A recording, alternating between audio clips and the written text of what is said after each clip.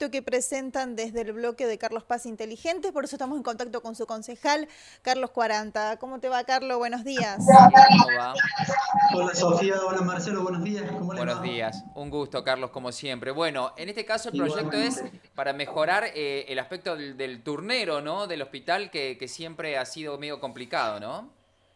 Sí, la verdad que el proyecto tiene tres ejes de trabajo. El primero tiene que ver con una cuestión que nosotros ya veníamos marcando hace un tiempo, con esto de que no es nuevo para nadie, pero que esta semana como que se ha vuelto a poner en escena. Viste que hay temas que van transitando en la ciudad y que a veces se apagan y a veces se vuelven a poner en escena, que tienen que ver con este tema de los turnos. La verdad es que nosotros creemos que hay una situación que ya no, no admite más dilación y que los turnos tienen que ser otorgados a los vecinos de otra manera. Nosotros lo que estamos planteando es un sistema único de turnos que le permita al vecino sacar el turno por diversas vías, porque hoy, si vos te fijas, hay determinadas especialidades que tenés que sacar el turno por teléfono, claro. otras lo tenés que hacer por vía web, otras son personalmente. La verdad que no está claro el sistema y no todos los vecinos tienen las mismas posibilidades de acceso a Internet, de claro. manejo de una web. Nosotros lo que planteamos es que el turno para todas las especialidades pueda ser sacado o a través de una web que funcione correctamente, que se genere una app para el que tenga la posibilidad, que lo use también con el teléfono, que haya un teléfono único y exclusivo para el servicio de salud, porque hoy el 147 atiende un montón de circunstancias. Claro. Y definitivamente hay muchas quejas porque no hay forma de que resuelva todas las cuestiones y agregar una vía de WhatsApp, que es hoy lo que usa comúnmente el vecino, para que también pueda hacer una medida para sacar los turnos. Entonces, le demos cuatro vías a la gente para que pueda canalizar el turno, que luego sí van a un sistema único que registre todos los turnos, que nos va a permitir llevar una estadística además de los turnos y poder ver si hay cancelaciones de turnos, adelantar turnos, pero darle una dinámica distinta y definitiva. Creo que es un tema que no tiene tan difícil resolución, creo que hay que tomar la decisión, creo que tiene que haber voluntad, obviamente tiene que haber alguna inversión, pero no veo que haya una inversión más rentable que la tenga que ver con el acceso a la salud para el vecino. Claro.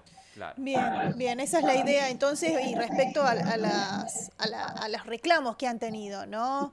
Eh, que salieron en estos últimos días. Es complicado hace es rato. Son permanentes los reclamos. Es, es, es, muy es permanente el tema de los reclamos. Como yo te digo, hoy salió nuevamente en los medios, que esto se terminó en algún momento. Permanentemente la gente está haciendo filas en el hospital. Sí. Y evidentemente yo he escuchado explicaciones de parte de la directora del hospital, pero evidentemente las explicaciones no alcanzan porque la gente sigue en la madrugada en la puerta del hospital.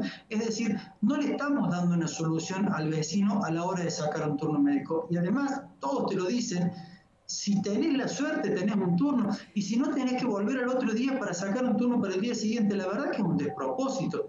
Más en esta instancia de emergencia sanitaria, que la gente tenga que estar a la madrugada en la calle, mujeres embarazadas, personas con niños, adultos mayores, para sacar un turno, cuando hoy no solo en Carlos Paz, sino en el mundo, existen elementos no solo de tecnología, es voluntad también para atender por teléfono, para que esto no tenga que ser de esta manera. Hay que encontrar una solución, porque además no es un tema que empezó este año, es un tema que lleva muchísimo tiempo en la ciudad y que de una vez por todas hay que encontrar una solución.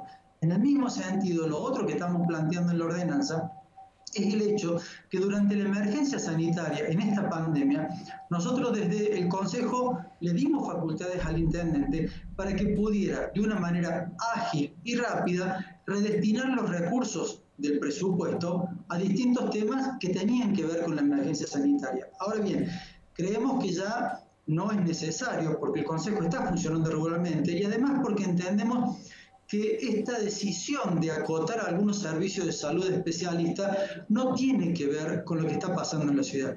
Todos sabemos de la situación de crisis social y económica y sanitaria que existe, no solo en Carlos en todo el país. Hoy hay mucha más gente que no tiene la posibilidad de atenderse en otro lugar que no sea el hospital. Y no es la idea, o no me parece que sea una buena decisión política, achicar las prestaciones del hospital en este momento donde la gente más lo necesita. Creemos que también se deben sostener durante toda la pandemia todos los servicios de salud que el hospital brinda, todas las especialidades. No parece razonable que algunas personas que con niños o adultos vienen atendiéndose con un especialista con enfermedades crónicas, de golpe se enteren que no está más y ahora tienen que ver quién los atiende o dónde van a atenderse con el agravante de que no hay transporte. Entonces la verdad es que la situación se torna crítica y no nos parece que sea el momento más adecuado para tomar este tipo de decisiones. Bien. Bien, bien, bien. Bueno, eh, el proyecto ya fue presentado. ¿Cómo continúa? Sí, el proyecto, el proyecto está presentado, pero como ustedes saben, nosotros hoy estamos en extraordinarias. Claro. Eh, a fines de junio yo planteé un proyecto para que no hubiera, no hubiera receso legislativo, sino que siguiéramos trabajando normalmente, porque la verdad es que durante el año no lo habíamos podido hacer con este tema del aislamiento. Ha, pasado un tiempo largo donde no hubo sesiones, no se pudo trabajar correctamente. Nos parecía que era adecuado no tomar este mes de receso legislativo, sino continuar trabajando. No hubo acompañamiento en esa propuesta, con lo cual estamos en extraordinaria y se ha llamado en extraordinaria que vamos a tener esta tarde, pero solo con los puntos que el oficialismo entendió conveniente llamar. Así que entiendo que este proyecto pasará al recinto recién cuando empiecen las ordinarias, será en el mes de agosto, salvo que hubiera otra extraordinaria donde podamos plantear este tema, que creo que es urgente y que además hay otra cuestión. Uno lo plantea en un proyecto de ordenanza, pero es una cuestión que puede resolver el Departamento Ejecutivo sin necesidad de que se apruebe la ordenanza. Acá se ha hablado mucho tiempo de la modernización, de los espacios digitales, pero la verdad es que no se refleja en la ciudadanía o no se refleja en el servicio de la gente uno ve la página web y no hay mucha digitalización, no hay mucho manejo de, las cuestiones eh, informáticas, porque ni siquiera se puede seguir un expediente que uno presenta. Entonces, me parece que es momento de utilizar la tecnología, de poner recursos para solucionar un problema que es central, que es el acceso a la salud pública por parte de la gente y máxime en este momento que vive la ciudad y el país completo, ¿no? Así es. Así, es. Carlos. Muchas gracias. ¿eh? Entonces esto se presenta, bueno, se va a tratar eh, después, no, no sé cuándo vuelven las sesiones, tiene que eh, abrir el, las sesiones el intendente, supongo, ¿no? Sí.